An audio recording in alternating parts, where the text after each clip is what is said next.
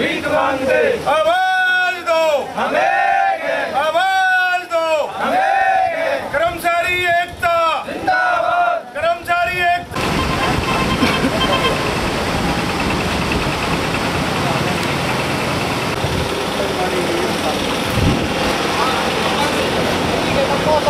उनचालीस दिन से आज हमारे आंदोलन धरना प्रदर्शन राजस्थान के प्रत्येक पंचायत समिति मुख्यालय पे चल रहा है। हमारी मांग को आज दिन तक सरकार ने सकारात्मक रूप रूप से वार्ता नहीं की है।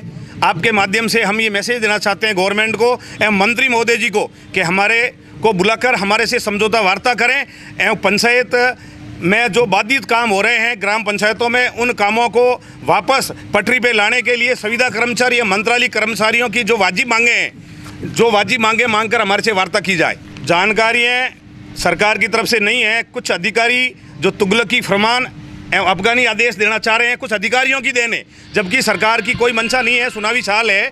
सरकार की सहानुभूति है, ये हमें पता है। गवर्नमेंट कार्रवाई नहीं कर रही है, अधिकारी कर रहे हैं, वो भी गलत है। और आपके माध्यम से गवर्नमेंट ने मंत्री महोदय से भी मैं निवेदन करना चाह रहा हूँ कि आपने उनचालीस दिन तक कोई कार्रवाई नहीं की। जो कार्रवाई कर रहे हैं, उन उन साथियों पर कार्रवाई वापस ली जाए एवं तत्काल प्रभाव से समझौता वार्ता के लिए हमें निमंत्रण भेजें।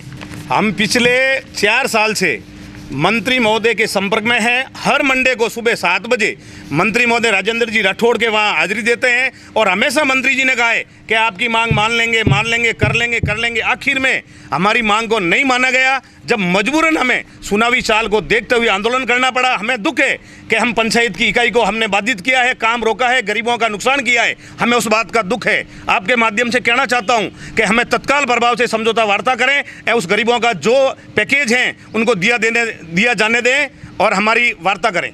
मैं मीडिया मीडिया के साथियों से अपील करना चाह रहा हूँ कि जो मैंने ये कहा है, सौ प्रतिशत सत्य है, आंकड़े ओनली फॉर कागजों में है, मौके पे आप भी पता कर लें, अधिकारी भी पता कर लें, और आप देखें मौके पे जो लेबर है, वो आज मौके पे नहीं है। खाली आंकड़े बता रहे हैं, और वो आंकड़े फर्जी हो सकते हैं। उनका हमारे साथ सहयोग है, बाकी सहयोग नहीं होता तो उनचालीस दिन हो जाने के बाद कार्रवाई होती और हमारे अनुबंध समाप्त होते। काम नहीं चल रहा है, मौके पे कागजों में चल रहा है। ग्राम सेवक साथी जो है, इनकी मुख्य मांगे थी, वो सरकार ने हमको तोड़ने के लिए। सरकार ने मांगे मान ली और मंत्रालय कर्मचारियों की भी जो अमुक छोटी मोटी मांगे थी मान ली गई। मांगे मानी नहीं है अभी तक पंद्रह दिन का टाइम दिया वो टाइम दिया है पंद्रह दिन सुनावी चाल है उनको झुंझुना हो सकता है। लगता नहीं है कि आपसी फूट की वजह से ये मतलब सारा हो रहा है। ये आपको लग रहा है फूट नहीं है मंत्रालय कर्मचारी तन मन धन से हमारे साथ हैं उनकी मांगों का लॉलीपॉप भी दिया था उन्होंने लॉलीपॉप को नहीं देखते हुए उन्होंने कहा कि लिखित में हमें आदेश दिया जाए उसके बाद आंदोलन खत्म करेंगे। जब तक पहली उनकी मांग है जब तक ये भर्ती भर्तियाँ दोनों नहीं हो जाती शुरू तब तक आंदोलन वापस नहीं लेंगे। उनकी मांगे थी वो मान ली गई है। और ग्राम अब आ- आपका ही पार्ट है ना? हमारा पार्ट है उन पे दबाव है सभी हो जाएँगे मंत्री महोदय से। उनकी जो समझौता वार्ता है उनमें पहले तय किया था कि आप आंदोलन में नहीं जाओ तो आपकी मांगे मान लेंगे। उनकी मांगे मान ली गई है कि सौ प्रतिशत हमारे साथ उनका मन और तन धन से वो लड़ेंगे। अगर ग्यारह तारीख को ये हमारी वार्ता सफल नहीं हुई मांगे नहीं मानी तो महासंघ सौ प्रतिशत हमारे साथ सड़क पे उतरेगा।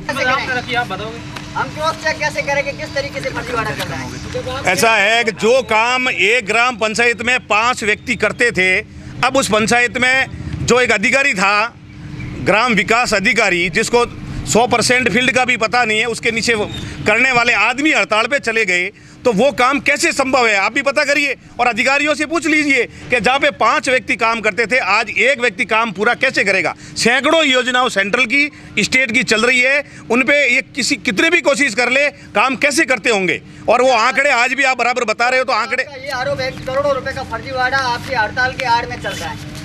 अब साहब ये तो आप आप बताएँ आप पता करें हमने तो कहा है हमने तो हमारी बात रखी है। हमने तो कहा है उसमें सबकी एक नहीं है। चार साल से आप धरने प्रदर्शन कर रहे हैं आपकी मांगे नहीं मानी जा रही है। अगला कदम क्या रहेगा? आगे क्या अब साहब ग्यारह तारीख को अगर हमारी बात वार्ता सफल नहीं होती है तो बारह तारीख को सुबह प्रत्येक जिला मुख्यालय पे पास पास हमारे साथी अमरण अनशन करेंगे।